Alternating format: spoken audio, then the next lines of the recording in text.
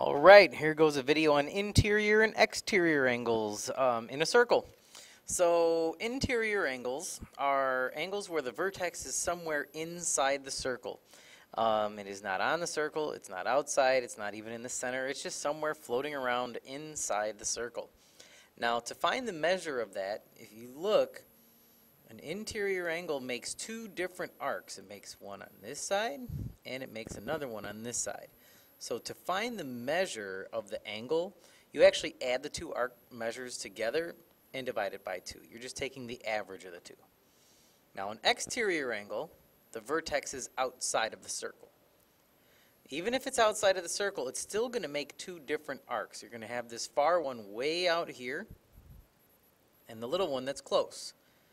To find the measure of this angle, you subtract the big one and the little one and divide by 2 and that will give you your measure. So with those, all we're going to do again is some more practice problems. So what I'd like you to do is just see if you can handle these. Just go ahead and pause the video now. I mean, it's the same type of thing. If it's an interior angle, you add the 2, divide by 2. If it's an exterior, you just subtract the 2 and divide by 2, and you're good to go. So give it a try.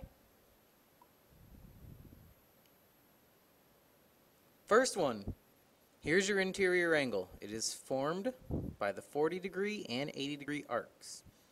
Add them together and divide by 2 and you will end up with 60 degrees. That's it. It's just that simple. This x is made up by this angle or that arc and that arc. Now, I understand we don't have that other arc, so there's two different ways you can do it. First thing you can do is remember that circles add up to 360 degrees. So you could subtract all of these from 360 and find that guy. Or I'm just going to show you a different option. You have this one and this one. So 140 plus 60 is 200 divided by 2 is 100. So you don't even have to find the angle directly. You can find that angle instead and go way back in the day when we learned about a linear pair and say that x is going to be 80 degrees.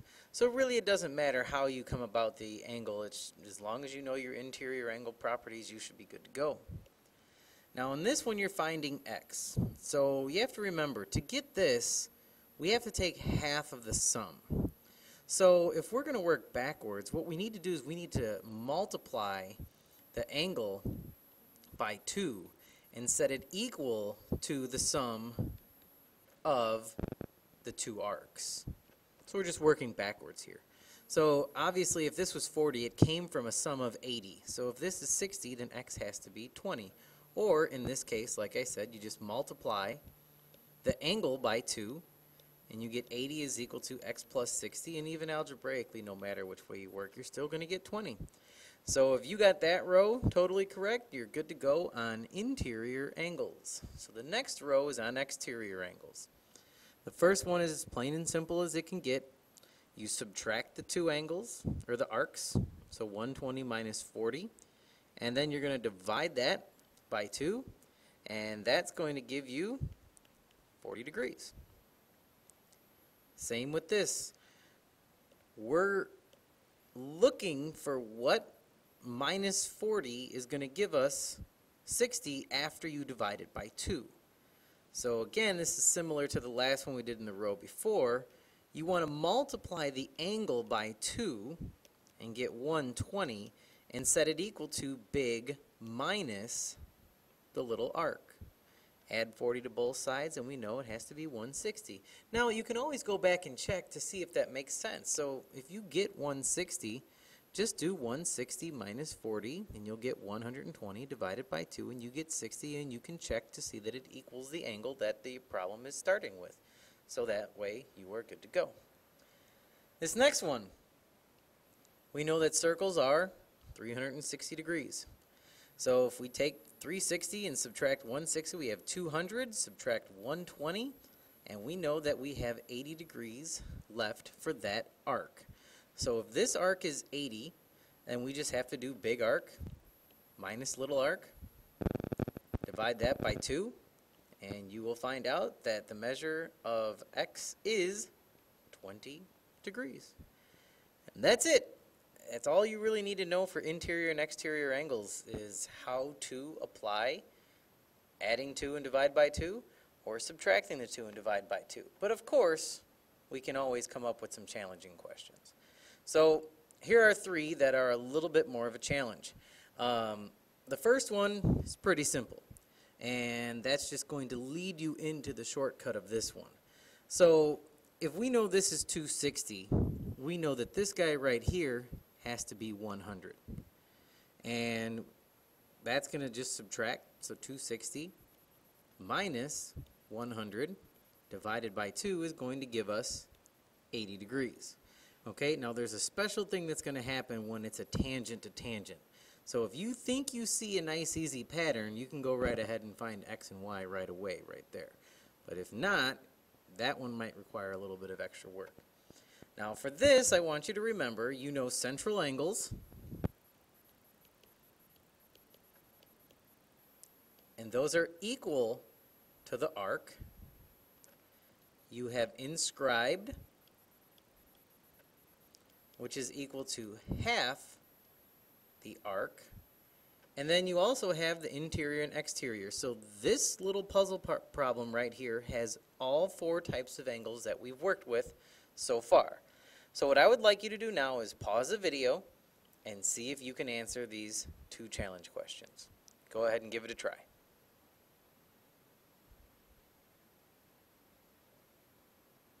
So if you figured out that x is going to be 130 degrees, then you're good to go. The secret is, is when you have a tangent tangent, these two are going to add up to 180. Um, that's just the way it's going to work every single time. So if you know that shortcut, you know x is 130, so you know y is going to be 230 degrees. Now, if you didn't catch the shortcut, you still could have figured this out. You just have to know that x plus y would equal 360 degrees because it is a circle. And the other thing you would know is y minus x is equal to 100. And that's because big minus little is going to equal the angle times 2 like we talked about earlier. And then you could have just solved this like a system. So you would rearrange that to negative x plus y is equal to 100. And then your x's would cancel. 2y is equal to 460. So y is equal to 230 and then you would subtract that from one or from 360 and find out that x is 130. So it really didn't matter which way you did this. Uh, now let's see if you were able to handle the puzzle problem. Now with puzzles, you never have to find them in order. And sometimes you just start right on the diagram and just work your way around. So first thing that I've mentioned to you before, you should always find the missing arcs. So we know this is 60, we know this is a diameter, so this arc is 120. And we know that this is a diameter, so the other half of the circle means this is going to be 30. Once you find that, you're ready to rock. Angle 1 is a central angle. So angle 1 is going to be equal to the angle, or equal to the arc, so it's 120. Angle 2 is also a central angle, so it's equal to the arc. Now angle 3 is going to switch. Angle 3 is now on the circle. Inscribed angles are half the arc. So if angle 3 is intersecting the 60 degree arc, then angle 3 is going to be 30 degrees. And again, I've suggested that you write them on the circle because now look, you have 120 and 30, that's 150 inside of this triangle.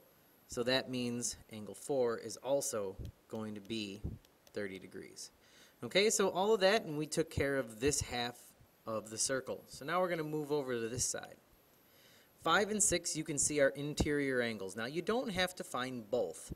You can just find one of them. So we see that angle 6 is going to be interior of this 80 and 70 degree arcs. So we would just add 70 and 80 and get 150, divide that by 2, and we would get angle 6 is going to be equal to 75.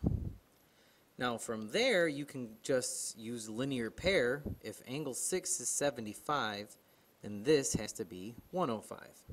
So angle 5 is going to be 105 degrees. Now the other way you could have done that is 180 for the big arc that angle 5 is intersecting and the little one 30.